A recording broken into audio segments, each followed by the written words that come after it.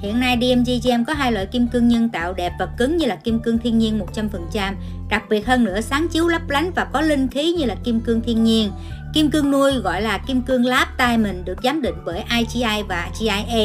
Loại thứ hai là Moissanite 2D Arizona gồm có 198 giác cắt Xoàn Moissanite 3D Arizona Super Brilliant Fire Cut gồm có 198 giáp cắt, 1 carat nước DFL 500 đô la, 2 carat 1.000 đô la, 3 carat 1.500 đô la. Kim cương nhân tạo IGI nước DVS1 1 carat 1.600 đô la, kim cương thiên nhiên IGI 6.900 đô la, kim cương nhân tạo nước Y VS1 1 carat 50 2.100 đô la, kim cương thiên nhiên IGI 14.000 đô la, kim cương nhân tạo nước ép VS1 2 carat 2.400 đô la, kim cương thiên nhiên IGI 28.000 đô la, kim cương nhân tạo IGI nước chi VS1 2 carat 50 2.500 đô la, kim cương thiên nhiên IGI 38.000 đô la.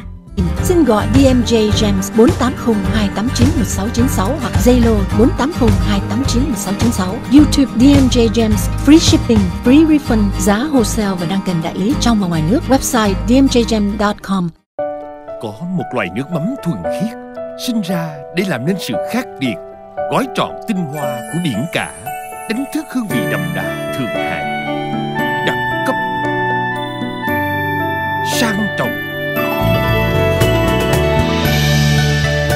là món quà tình thân ý nghĩa. Để luôn nhắc ta nhớ về cội nguồn. Nước mắm hoàng gia tinh hoa đất việt.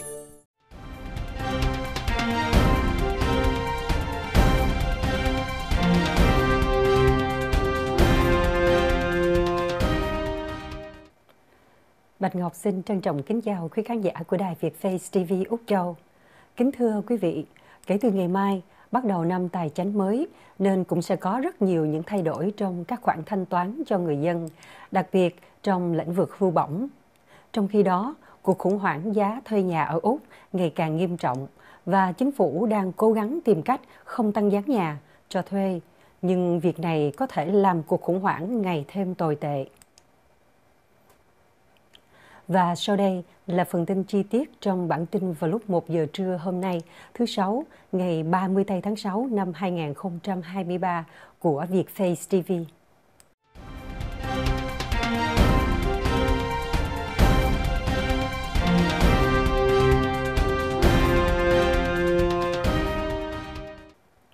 Những thay đổi quan trọng đối với lương hưu sẽ có hiệu lực vào ngày 1 tây tháng 7 những thay đổi về ngưỡng đối với lương hưu theo tuổi được thiết lập để khuyến khích người Úc lớn tuổi ở lại làm việc lâu hơn nhằm giảm bớt tình trạng thiếu lao động của đất nước. Kể từ ngày 1 tây tháng 7, tuổi đủ điều kiện nhận lương hưu sẽ tăng lên 67 tuổi. Trong khi những người độc thân có thể kiếm được 204 đô la mỗi 2 tuần và các cặp vợ chồng là 360 đô la trước khi mất toàn bộ lương hưu.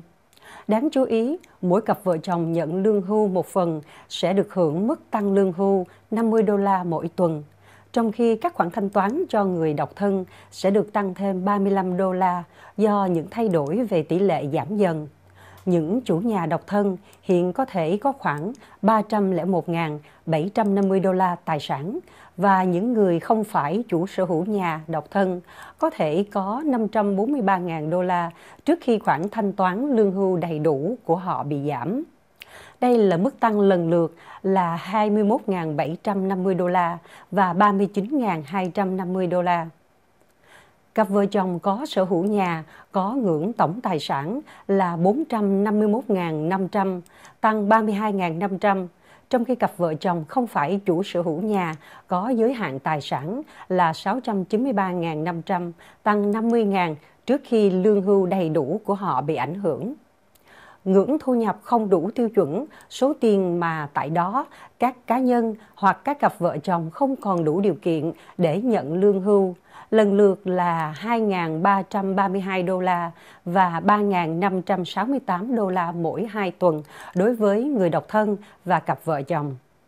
Ngưỡng tài sản không đủ tiêu chuẩn lần lượt là 655.500 và 898.500 đối với chủ sở hữu nhà độc thân và người không phải là chủ sở hữu nhà và 986.500 và 1.228.500 đối với cặp vợ chồng chủ nhà và không phải là chủ sở hữu nhà. Các ngưỡng nâng cao này đã tăng đáng kể so với các yêu cầu hiện tại, tăng từ 21.750 đô la lên 50.000 đô la so với mất trần tài sản không đủ điều kiện hiện tại. Tăng lên ngưỡng cao hơn có nghĩa là một số người Úc trước đây không đủ điều kiện nhận lương hưu do tài sản hoặc thu nhập của họ, giờ đây sẽ đáp ứng các yêu cầu. Ngoài ra, một số người Úc từng nhận trợ cấp một phần, giờ đây có thể nhận được toàn bộ khoản trợ cấp hưu trí. Đối với những người đã nhận được khoản thanh toán lương hưu đầy đủ, những thay đổi này sẽ không ảnh hưởng đến họ. Các chuyên gia trong ngành đã đánh dấu nhiều người hưu trí lớn tuổi đang phải vật lộn để kiếm sống trong bối cảnh khủng hoảng chi phí sinh hoạt sẽ hoan nghênh các biện pháp mới. Người Úc đáp ứng các yêu cầu về tuổi tác, thu nhập và tài sản để được hưởng lương hưu theo tuổi có thể gửi yêu cầu của họ trong 13 tuần trước khi bước sang tuổi 67. Khảo sát xã hội dành cho những người cao niên quốc gia được công bố vào tháng 3 cho thấy 80% người Úc lớn tuổi đã bị ảnh hưởng bởi chi phí sinh hoạt ngày càng tăng. Số lượng người Úc trên 50 tuổi báo cáo bị ảnh hưởng nghiêm trọng do chi phí tăng được dự đoán sẽ tăng hơn nữa trong 12 tháng tới. Úc kiềm giữ giá thuê nhà khiến cuộc khủng hoảng nhà tồi tệ hơn. Giá thuê nhà ở Úc ngày càng tăng cao, gây khó cho người thuê nhà. Người nghèo gây khó cho người thuê nghèo. Chính phủ Úc đang cố gắng kiềm giữ việc tăng giá cho thuê, nhưng đây được cho là không phải là giải pháp đúng. Theo trang tin The Conversation của Úc, giá thuê nhà trung bình trên khắp nước Úc tăng khoảng 10% trên một năm, kết hợp lãi suất tăng nhanh và tiền lương tăng không theo kịp lạm phát đã gây áp lực lớn lên hầu bao các hộ gia đình nghèo phải đi thuê nhà. Đảng xanh hiện từ chối thông qua dự luật trị giá 10 tỷ đô la của Quỹ Tương lai Nhà ở Úc để cung cấp thêm nhà ở cộng đồng, trừ khi chính phủ liên bang đưa ra các biện pháp kiểm soát chặt chẽ tiền thuê nhà. Theo các chuyên gia bất động sản, về mặt kinh tế, nhà là một sản phẩm. Trên thị trường cho thuê, để tạo ra một sản phẩm chất lượng, chủ nhà phải đầu tư một khoản tiền đáng kể vào việc xây dựng và bảo trì để đáp ứng các tiêu chuẩn để đáp ứng các tiêu chuẩn tối thiểu theo luật đối với tài sản cho thuê. Họ cũng phải trang trải chi phí đất đai và thuế thu nhập, bảo hiểm và thế chấp. Tiền cho thuê từ bất động sản dự kiến sau khi trang trải các chi phí trên, lợi tức đầu tư trung bình còn khoảng 3 đến 7%. Nếu giá cho thuê nhà bị kiểm soát, lợi tức đầu tư bắt đầu giảm trong một số trường hợp là âm, chủ nhà sẽ cắt giảm những gì họ cho là chi tiêu hợp lý. Điều này có thể ảnh hưởng đến chi phí bảo trì nhà vì tất cả các chi phí khác đều cố định. Những ngôi nhà sau đó sẽ rơi vào tình trạng hư hỏng, dẫn đến việc chủ nhà phải bán hoặc rút tài sản khỏi thị trường cho thuê dài hạn. Kinh nghiệm ở Mỹ cho thấy chủ nhà để mặc cho một số ngôi nhà xuống cấp nhằm gian lận tiền bảo hiểm và thiệt hại đối với tài sản. Nếu chính phủ áp đặt các biện pháp kiềm giữ tiền thuê nhà sẽ diễn ra một tình trạng một số người thuê vì quá cần một chỗ ở mà sẵn sàng trả thêm tiền cho chủ nhà. Ngoài tiền thỏa thuận trên giấy tờ, các chủ nhà sẽ gia tăng các điều kiện cho thuê, chẳng hạn không cho gia đình có con thuê và các gia đình có con lại phải chi thêm khoản tiền mặt thay cho chi thêm khoản tiền mặt thay chủ nhà đóng bảo hiểm hư hỏng cho căn nhà. Chủ nhà có thể viện đủ lý do để lách những quy định đang kìm hãm giá cho thuê nhà của họ và khi không còn nguồn lợi, chủ nhà sẽ ngừng cho thuê. Vì vậy, dù kiểm soát giá cho thuê nhà có vẻ là phương pháp đơn giản để tăng khả năng chi trả của người dân phải đi thuê nhà, nhưng những hậu quả không mong muốn từ việc siết nguồn lợi của các chủ nhà lại có tác động tiêu cực lâu dài đến tổng nguồn cung nhà cho thuê sẵn có, làm giảm chất lượng nhà ở và gia tăng thị trường giá chợ đen.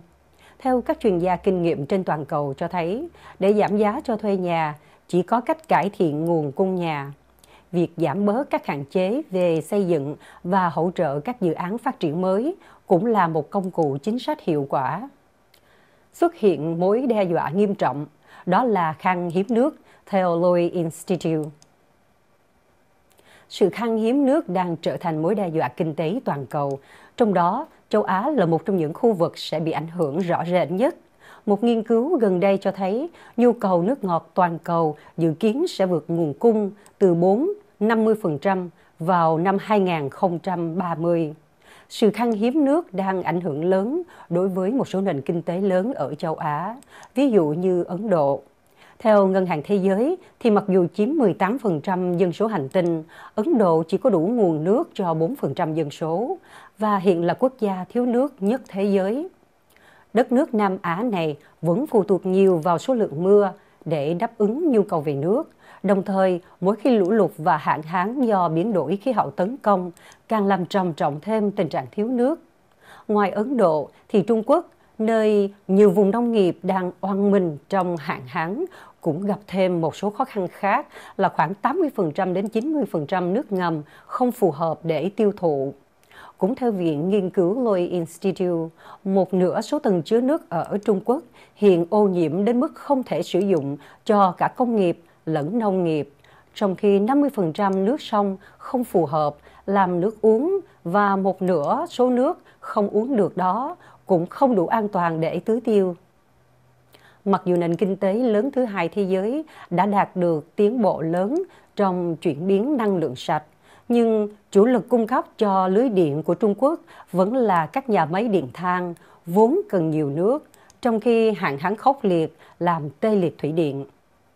Các quốc gia phương Tây cũng khó lòng thoát khỏi ảnh hưởng của cuộc khủng hoảng nước sâu rộng và các báo cáo mới đây từ nhiều quốc gia cho thấy các mạch nước ngầm đang cạn kiệt dần giữa lúc các đợt nóng hạn hán do biến đổi khí hậu ngày một nghiêm trọng hơn, khiến mùa đông thiếu tuyết và các mùa khác cũng không đủ mưa để bổ sung nước cho sông ngòi.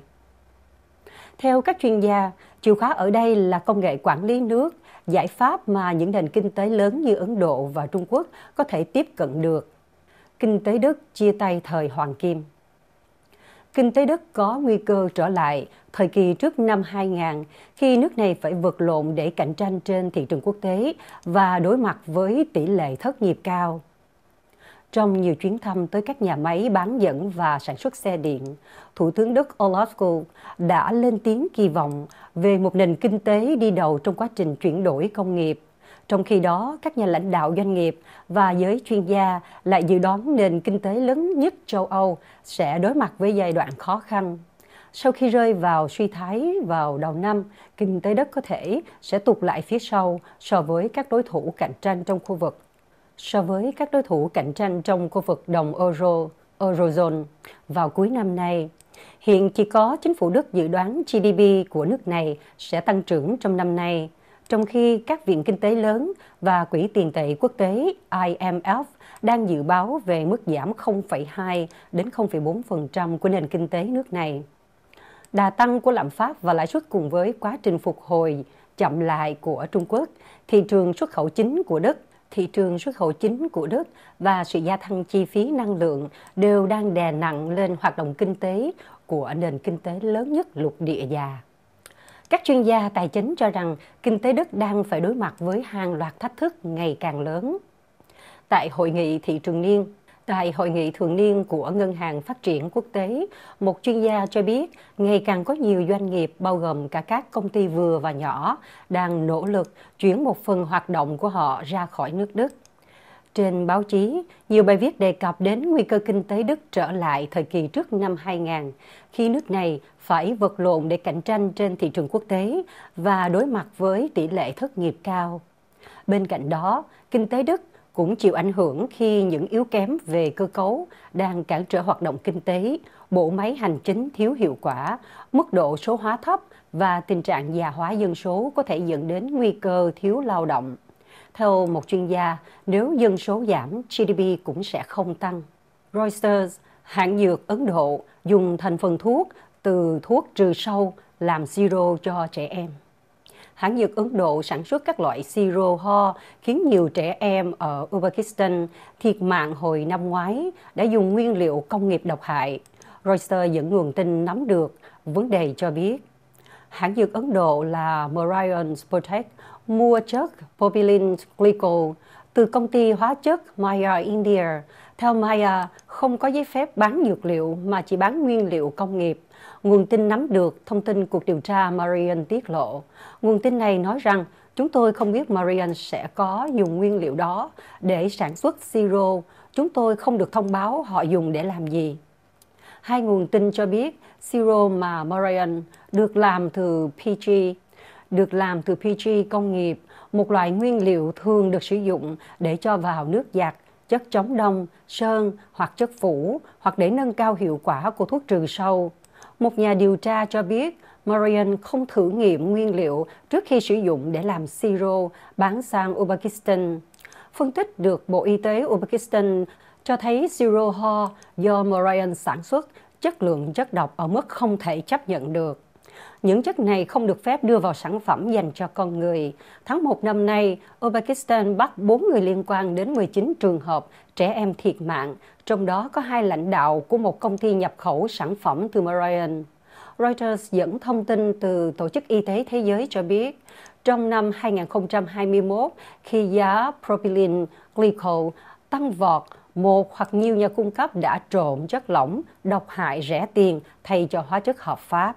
Các xét nghiệm do một phòng thí nghiệm của chính phủ Ấn Độ thực hiện cho thấy 22 mẫu siro do Marian sản xuất là sản phẩm pha tạp và giả mạo. Chính quyền bang Uttar Pradesh, nơi Marian có nhà máy, thu hồi giấy phép của hãng này từ tháng 3 năm nay.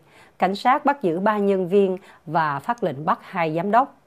Ngoài các trường hợp tử vong ở Uzbekistan, ít nhất 70 trẻ em ở Gambia thiệt mạng năm ngoái sau khi được cho uống siro chứa chất độc do một hãng dược khác của Ấn Độ sản xuất. Siro chứa chất độc cũng liên quan đến hơn 200 trường hợp trẻ em tử vong ở Indonesia trong năm 2022.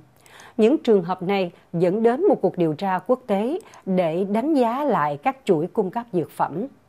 Với bản tin vừa rồi, Bạch Ngọc xin tạm dừng chương trình tin tức của đài Việt Face TV.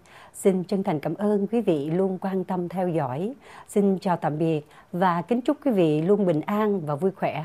Hẹn gặp lại quý vị trong chương trình tin tức của đài Việt Face TV vào lúc 3 giờ chiều nay.